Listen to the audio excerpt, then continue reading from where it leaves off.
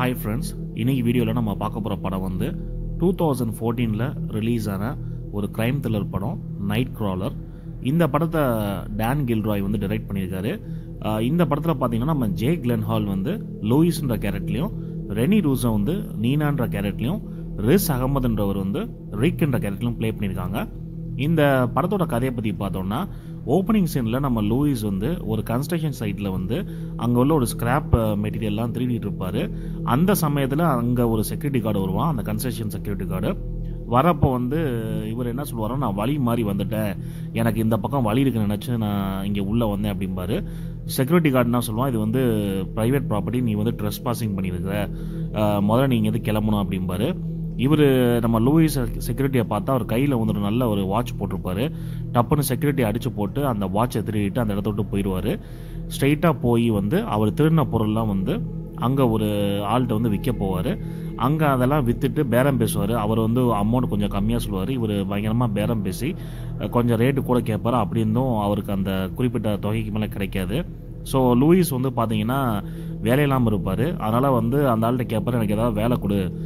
நான் எல்லா வேலையுமே பார்ப்பேன். நான் ரொம்ப ஹார்ட் ஒர்க்கர் அப்படி இப்படின்னு சொல்லி அவரே பயங்கரமாக செல் பண்ணுவார். ஆனால் அவர் வந்து இங்கே எதுவும் ஓப்பனிங் இல்லை நான் யாரையும் வேலைக்கு எடுக்கிற மாதிரி இல்லை அப்படிம்பாரு. திருப்பி லூயிஸ் வந்து என்ன சொல்லுவார்னா எனக்கு இன்டர்ன்ஷிப்பாவது கொடு உன்னோட இடத்துல. நான் வந்து எனக்கு சம்பளம் வேணாம். நான் தொழில் வேணா கற்றுக்கிறேன் அப்படிம்பாரு. அவர் சிம்பிளாக சிரிச்சுட்டு நான் திருடனுங்கெல்லாம் வேலைக்கு சேர்க்கறதில்ல. உன் வேலையை மட்டும் பாருன்னு சொல்லி அனுப்பிச்சிடுவார் லூயிஸ்க்கு என்ன பண்ண தெரியாமல் அப்படியே காரில் வந்து நைட் அப்படியே வண்டி ஓடிட்டே போவார். அங்கே பார்த்தா ஒரு ஓவர் த பிரிட்ஜில் வந்து ஒரு கார் ஆக்சிடென்ட் நடந்திருக்கும். போலீஸ்லாம் வந்து அங்கே ஆக்சிடென்ட் நடந்த இடத்துல வந்து உள்ள காரில் அடிப்பட்டவங்களை வந்து வெளியே கொண்டு வந்துட்டு இருப்பாங்க. அப்போ பார்த்தா டக்குன்னு ஒரு வேன் வரும். அதுலேருந்து ஒரு ரெண்டு பேர் கேமரோட வந்து அதை ஃபுல்லாக அப்படியே ஷூட் பண்ணிகிட்டு இருப்பாங்க. அந்த கார் ஆக்சிடென்ட் நடந்தது அந்த போலீஸ் அந்த அவங்கள காப்பாற்றுறது எல்லாத்தையுமே வீடியோ எடுத்துகிட்டு இருப்பாங்க. இவர் லூயிஸ் வந்து அதை பார்த்துட்டே இருப்பார். அந்த வீடியோ எடுத்து முடிச்சுட்டு அந்த ரெண்டு பேரும் அப்படியே வருவாங்க. லூயிஸ் கேட்பாரு இது எதுக்கு பண்ணுறீங்கன்னா இது வந்து நாங்கள் டிவி நியூஸ்க்கு வந்து இதை விற்க போகிறோம் அந்த ஃபுட்டேஜை கொடுத்தா எங்களுக்கு காசு கிடைக்கும் அப்படிம்பாங்க. உடனே லூயிஸ் கேட்பார் உங்களுக்கு ஏதாவது வேலைக்கு ஆள் வேணுமா? நான் வந்து உங்களோட வேலைக்கு சேர்ந்துக்கிறேன் அப்படிம்பாரு. இவங்க இல்லைன்னு சொல்லுவாங்க. பேசிட்டே இருக்கும்போது பார்த்தா அந்த ரெண்டு பேர் வீடியோ எடுத்தவங்க கார்லேருந்து போலீஸோட அந்த ஸ்கேனர் வந்து வாக்கி டாக்கி வந்து கேட்கும். ஸோ லூயிஸ் புரிஞ்சுப்பார் இவங்க வந்து போலீஸ் வாக்கி டாக்கி வந்து ஸ்கேனர் வச்சு எங்கெங்கே என்ன நடக்குதுன்னு தெரிஞ்சுக்கிட்டு அந்த இடத்துக்கு சீக்கிரமாக போகிறாங்கன்றது தெரிஞ்சிருக்கும். ஸோ லூயிஸ் வந்து அடுத்த நாள் வந்து பீச்சில் உட்காந்து யோசிப்பார். இவரே சொந்தமாக இந்த வேலையை பண்ண ஆரம்பிக்கலாம் அப்படின்னு ஐடியா பண்ணிவிட்டு அங்கே பீச்சில் வந்து ஒரு ஆள் வந்து சைக்கிளிங் பண்ணிவிட்டு சைக்கிளை வச்சுட்டு ஒரு கடைக்கு போவார். அந்த சைக்கிளை திருடிடுவார் திருடிட்டு போய் அந்த சைக்கிளை வந்து ஒரு பிளாக் மார்க்கெட்டில் விற்க போவார். அங்கேயும் பேரம் பேசுவார். பட் அவருக்கு நினச்ச தொகை அங்கே கிடைக்காது. உடனே அந்த கடைக்காரன் என்ன சொல்லுவார்னா எனக்கு வந்து இந்த ஒரு எண்ணூறு டாலரும் ஒரு கேமராவும் கொடு எனக்கு. அதே மாதிரி போலீஸ் ஸ்கேனரும் எனக்கு வேணும் அப்படிம்பாரு. அது எல்லாத்தையுமே வாங்கிட்டு இவர் வண்டியிலே வந்து அந்த போலீஸ் ஸ்கேனர்லாம் செட் பண்ணிவிட்டு இவரும் நைட்டு வந்து அப்படியே ட்ரைவ் பண்ணிட்டே இருப்பார். ஏன்னா போலீஸ் வந்து அந்த கண்ட்ரோல் ரூம்லேருந்து அவங்க வாக்கி டாக்கியில் பேசுகிற எல்லாத்தையுமே அவர் கேட்டுக்கிட்டே இருப்பார். எங்கே என்ன நடக்குது அப்படின்னு சொல்லிட்டு கேட்டுட்ருப்பார் ஸோ அப்போ வந்து ஒரு இடத்துல வந்து ஒரு ஷூட் அவுட் நடந்திருக்குன்னு சொல்லிட்டு அவருக்கு வந்து அந்த ஸ்கேனரில் வந்து வரும். உடனே வேகமாக அந்த இடத்துக்கு போவார். பார்த்தா அங்கே ஆல்ரெடி அந்த ரெண்டு பேருமே அந்த ஃபுட்டேஜ் எல்லாமே வீடியோ எடுத்துகிட்டு இருப்பாங்க. இவரும் உள்ளே போய் அந்த வீடியோ எடுக்கிறேன்னு சொல்லிட்டு போலீஸ்கிட்டக்கே போய் அந்த அடிப்பட்ட ஆளில் வந்து ஃபுல்லாக கவர் பண்ணிட்டு இருப்பாரு. போலீஸ்லாம் டென்ஷன் ஆகி நம்ம லூயிஸ் வந்து தள்ளி விட்டு எல்லாருமே இந்த இடத்துக்கு போங்க யாருமே வீடியோ எடுக்கக்கூடாதுன்னு சொல்லிட்டு எல்லாருமே அனுப்பிச்சிருவாங்க. ஸோ அந்த மற்ற வீடியோகிராஃபர்லாம் லூயிஸை திட்டுவாங்க. ஒழுங்காக நாங்கள் வீடியோ எடுத்துகிட்டு இருந்தோம். நீ வந்து ஏன் உள்ளுக்குள்ளே போகிற அதான் ரோப் கட்டியிருக்காங்க. நீ எதுக்கு அதை தாண்டி போனான்னு சொல்லி திட்டுவாங்க. இவர் வந்து எடுத்த கிளிப்பை மட்டும் எடுத்துகிட்டு ஒரு டிவி நியூஸ் சேனலுக்கு வந்து அதை விற்க போவார். அங்கே தான் நம்ம நீ நீனான்றவங்க வந்து நியூஸ் டைரக்டராக இருப்பாங்க. ஸோ நான் வந்து இந்த மாதிரி ஃபுட்டேஜ் விற்க வந்திருக்கேன் அப்படின்பாங்க. எந்த இன்சிடென்ட்னு கேட்டோடனே அவர் அந்த இன்சிடெண்ட்டை சொல்லுவார். இல்லை எனக்கு அந்த ஃபுட்டேஜ் ஆல்ரெடி கிடச்சிருக்கு அப்படின்னு சொல்லுவாங்க. இல்லை நான் வந்து ரொம்ப க்ளோஸாக வந்து எடுத்திருக்கேன் என்னோட வீடியோவை நீங்கள் பார்த்தா தெரியும் அப்படிம்பாரு. ஸோ அந்த வீடியோ வந்து செக் பண்ணுவாங்க. நீங்கன்னா செக் பண்ணி பார்த்தா இவர் ரொம்ப க்ளோஸ் அப்பில் ரொம்ப பக்காவாக எடுத்திருப்பார். உடனே உங்களுக்கு ரொம்ப பிடிச்சிரும். சரின்னு சொல்லிட்டு ஒரு இரநூறு டாலர் அந்த ஃபுட்டேஜுக்கு காசு கொடுப்பாங்க. கொடுத்துட்டு என்ன சொல்லுவாங்கன்னா இனிமேல் இந்த மாதிரி ஏதாவது உனக்கு ஃபுட்டேஜ் இருக்குதுன்னு சொன்னால் என்னை வந்து நீ பாரு. நான் நல்லா இருந்துச்சுன்னா அந்த ஃபுட்டேஜை வாங்கிக்கிறேன். அப்படிம்பாங்க. உடனே இவர் கேட்பார் லூயிஸு உங்களுக்கு என்ன மாதிரி ஃபுட்டேஜ் வேணும்? அப்படின்னு கேட்பாரு இவங்க என்ன சொல்லுவாங்கன்னா எ- என்னென்ன இருக்குதோ இன்ட்ரெஸ்டிங்காக இருக்கோ எல்லாமே எனக்கு வேணும். இந்த மாதிரி கார் ஜாக்கிங்கு கார் திருடுறவங்க கொலை பண்ணுறது எது இருந்தாலுமே எனக்கு நீ ஃபஸ்ட்டு வந்து என்கிட்ட கொடுக்கணும்? கொடுத்தா நான் உனக்கு நல்ல ரேட்டு தரேன் அப்படிம்பாங்க. லூயிஸ் ஓகே நான் எங்களை நான் உங்களை அடிக்கடி சந்திக்கிறேன் அப்படின்னு சொல்லிட்டு அங்கேருந்து கிளம்பிடுவார். கிளம்பிட்டு வீட்டுக்கு போயிட்டு லூயிஸ் என்ன பண்ணுவார்னா ஃபுல்லாக வந்து அந்த போலீஸ் கோடை ஃபுல்லாக வந்து படிக்க ஆரம்பிப்பார். எந்தெந்த கோடுக்கு என்னென்ன மாதிரி அவங்க வந்து ஒவ்வொரு கோடுக்குமே ஒரு ஒரு ப்ரோட்டோக்கால் வச்சுருப்பாங்க. இப்போ ராபரினா ஒரு நம்பரு காரை திருடுற வராங்கன்னா ஒரு நம்பரு ஸோ இந்த நம்பரை தான் சொல்லி தான் போலீஸ் யூனிட் வந்து அந்த இடத்துக்கே போவாங்க. ஸோ இவருக்கு வந்து எப்படின்னு சொன்னால் அது ஈஸியாக இருக்குன்னு சொல்லிட்டு எல்லாத்தையுமே படிக்க ஆரம்பிப்பார்.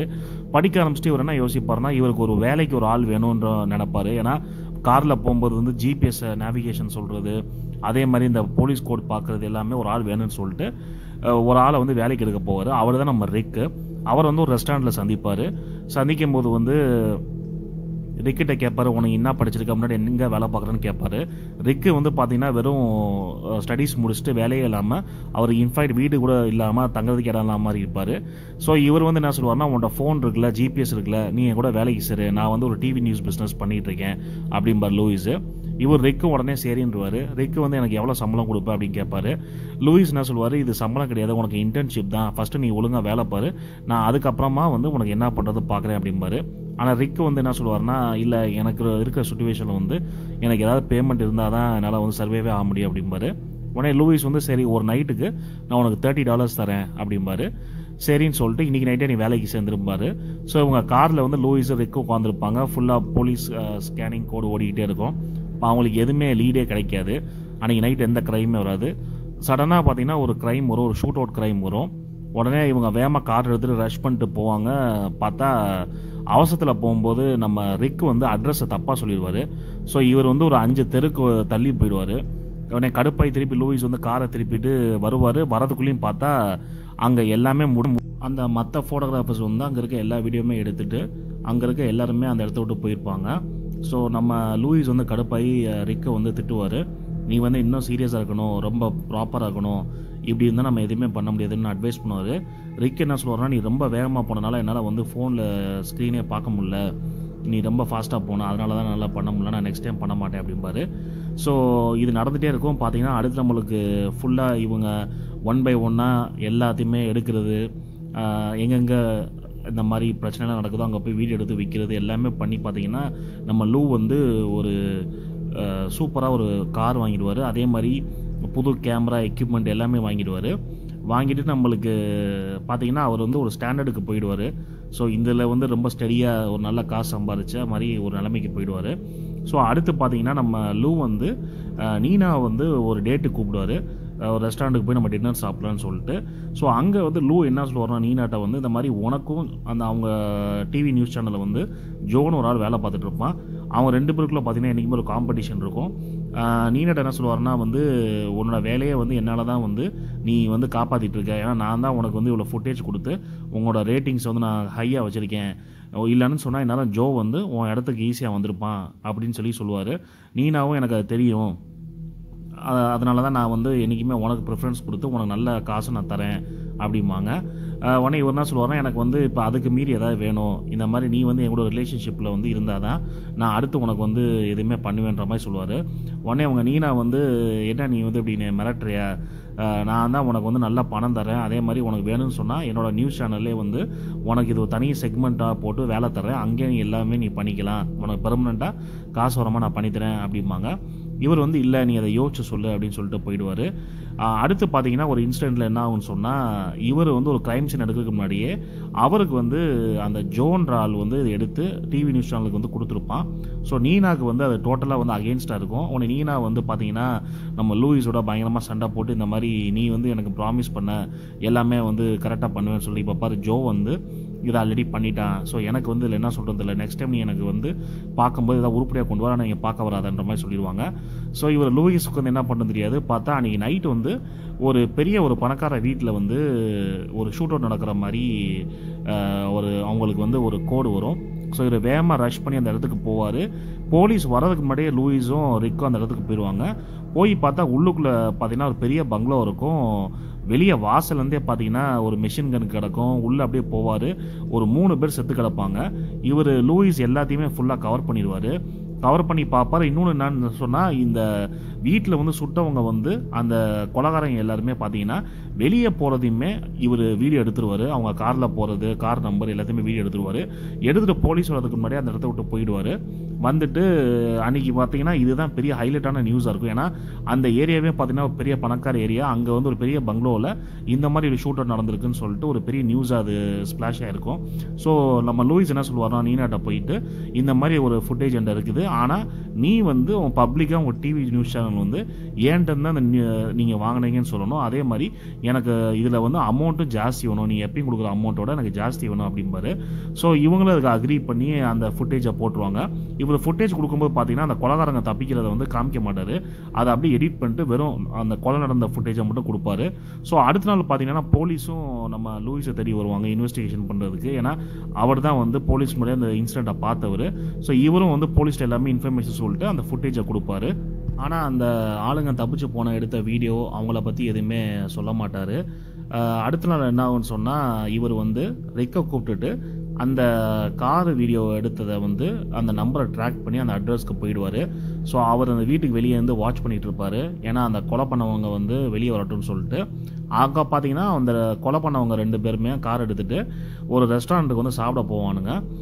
இவர் வந்து அந்த ரெஸ்டாரண்ட்டுக்கு வெளியே வந்து ரிக்கோட காரில் உட்காந்துருப்பார் உட்காந்து என்ன பண்ணுவார்னா போலீஸுக்கு கால் பண்ணுவார். கால் பண்ணி இந்த மாதிரி நான் லூயிஸ் பேசுகிறேன் நேற்றுக்கு நடந்த இன்சிடெண்ட்டில் வந்து ரெண்டு கொலகாரங்க வந்து இந்த இடத்துல ஒரு ரெஸ்டாரண்ட்டில் வந்து உட்காந்து சாப்பிட்ருக்காங்க கையில் வந்து கன் வச்சுருக்காங்க. பப்ளிக்லாம் இருக்காங்க. நீங்கள் சீக்கிரம் வாங்கன்னு சொல்லி நைன் ஒன் ஒனுக்கு கால் பண்ணி வச்சுருவார். ஸோ ரிக்குக்கு ஒன்றுமே புரியாது. இந்த மாதிரி என்ன சொல்லணும்னா ரிக்கு இது பப்ளிக் பிளேஸ் நிறைய பேர் இருக்காங்க. நீ ஏன் இப்போ போய் வந்து போலீஸுக்கு கால் பண்ண ஒழுங்காக நம்ம வீட்டு அட்ரஸே கொடுத்துருந்தா போலீஸ் அங்கே வந்து அவங்கள அரெஸ்ட் பண்ணியிருப்பாங்களே அப்படிம்பாரு. உடனே லூயிஸ் என்ன சொல்லுவார்னா வீட்டில் வந்து அரெஸ்ட் பண்ணால் நம்மளுக்கு எப்படி வந்து நியூஸ் கிடைக்கும்? இங்கே இந்த மாதிரி ஒரு செட்டப்பில் தான் வந்து எதாவது தப்பு நடக்கும் நமக்கு நியூஸ் கிடைக்கும்னு சொல்லுவார். ரிக்குக்கு தெரியும் அவர் வந்து ரொம்ப சைக்கோத்தனமாக சில விஷயங்கள் பண்ணிட்டுருக்கான்னு சொல்லிட்டு. உடனே லூயிஸ் என்ன சொல்லுவார்னா ரிக்கை நீ இறங்கி போய் ஆப்போசிட் சைடில் நின்று அங்கேருந்து நீ ஒரு கேமரா வச்சு ஷூட்டிங் பண்ணு.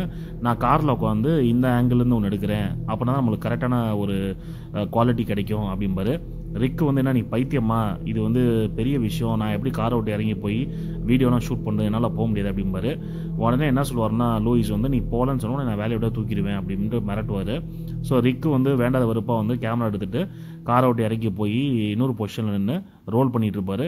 பார்த்தா அங்கே போலீஸ் கார் வரும். ஃபஸ்ட்டு ஒரு கார்லேருந்து ரெண்டு பேர் இறங்கி வந்து அந்த ரெஸ்டாரண்ட்டுக்கு சாப்பிட்ற மாதிரி போய் போலீஸ் வந்து ஆர்டர் பண்ணிகிட்ருப்பாங்க இருப்பாங்க. திருப்பி இன்னொரு கார் வரும். இன்னொரு கார் வந்தோடனே உள்ளே இருக்க அந்த ரெண்டு திருடனுங்களும் வந்து புரிஞ்சுப்பாங்க. சரி இவங்கள தான் பிடிக்க வந்திருக்காங்கன்னு சொல்லிட்டு டப்புன்னு கன்னை புல் பண்ணி ஷூட் பண்ண ஆரம்பிச்சிருவாங்க. போலீஸை போலீஸும் ஷூட் பண்ணுவாங்க. பார்த்தா ஒரு ஆள் மட்டும் செத்துருவான். இன்னொரு ஆள் வந்து கார் எடுத்து தப்பிச்சிருவான். போலீஸ் அவனை சேஸ் பண்ணிட்டு போவாங்க. இவர் லூயிஸும் டக்குன்னு ஒரு காரில் உட்காந்து ஃபுல்லாக அந்த சேஸை ஃபுல்லாக அப்படியே வீடியோ எடுத்துகிட்டே போவார். ஒரு பாயிண்ட் வந்து என்னன்னு சொன்னால் கார் இடித்து வந்து போலீஸ் வந்து அவனை ஷூட் பண்ணி மாற்றி மாற்றி ஷூட் அவுட் பண்ணிகிட்டு இருப்பாங்க. அந்த இடத்துல வந்து போலீஸ் வந்து அவனை சுட்டுருவாங்க அவன் கீழே விழுந்துருவான். உடனே என்ன சொல்லுவார்னா வந்து லூயிஸ் வந்து ரிக்கிட்ட வந்து அவன் செத்துட்டு அவனை போய் வீடியோ எடு நான் இந்த பக்கம் எடுத்துட்டு இருக்கேன்னு சொல்லி சொல்லுவார். ரிக்கு வந்து லூயிஸ் சொல்கிற நம்பிட்டு போவான் பார்த்தா அந்த கொலகாரை வந்து செத்துருக்க மாட்டான் கன் எடுத்து டப்புன்னு ரிக்கை சுட்டுடுவான். ரிக்கு வந்து அப்படி கீழே விழுந்துருவார்.